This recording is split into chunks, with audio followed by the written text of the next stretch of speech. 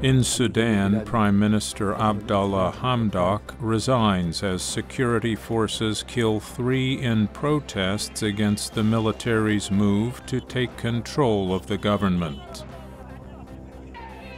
In Brazil, President Jair Bolsonaro is hospitalized with an intestinal problem. The president said in a message from the hospital that he is doing well. In South Africa, a fire damages the Parliament building complex. Police say they have detained a suspect.